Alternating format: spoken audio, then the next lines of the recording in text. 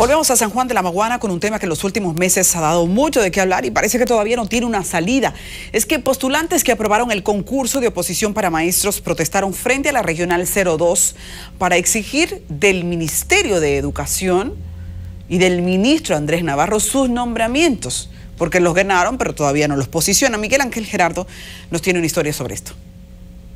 Decenas de maestros que aprobaron un concurso de oposición en el Ministerio de Educación se concentraron en la parte frontal de esa institución en San Juan de la Maguana, simulando un mercado para exigir de las autoridades educativas el nombramiento de quienes en buena forma pasaron su concurso. En el día de hoy podemos ver cómo estos profesionales están aquí. Esta es la función, lo que estamos visualizando aquí es a lo que estos profesionales se están dedicando eh, por falta de su nombramiento. Me da vergüenza, señor ministro de Educación, que estos profesionales de educación, que ya tienen dos años que pasaron su concurso en buena lid, tengan que estar vendiendo habichuelas, vendiendo plátano, vendiendo guineo. Expresaron que en San Juan existen plazas suficientes para nombrar a todos los que pasaron el concurso y que lo que ha faltado es voluntad por parte de las autoridades.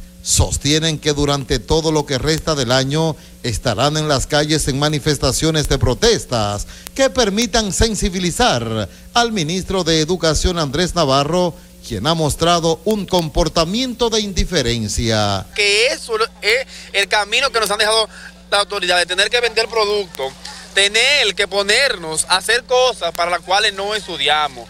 ¿Por qué? Porque pasamos un concurso y para nombrarnos se nos dijo que deberíamos renunciar de nuestros puestos. Así que nosotros esperamos que como la ADP le hace el llamado de que se nos nombre, ahora en estas vacaciones, esperamos que nos tengan pendiente y en cuenta para que así se haga. Y si no, de lo contrario, pues para la calle vamos, pero en otra forma. Denunciaron que a pesar de la inmensa cantidad de profesores que aún quedan sin nombrar, pero que pasaron un concurso. Las autoridades pretenden contratar a docentes y no nombrar a los que agotaron el proceso del concurso. Entonces a mí me parece que hay una contradicción que no había plaza ni la hubo para cumplir con el derecho de aquellos que sí ganaron su concurso y que hoy se diga que sí, que hay 30 oportunidades hay para contratar personas ajenas a la educación que, como se había dicho, ni siquiera han terminado un pensum de la carrera educativa. Por eso nosotros entendemos que eso no puede continuar y exigimos que sean nombrados en este tiempo, que es el tiempo muerto. En total suman 300 los postulantes que pasaron el concurso y no han sido nombrados. Desde San Juan de la Maguana, Miguel Ángel Geraldo, CDN.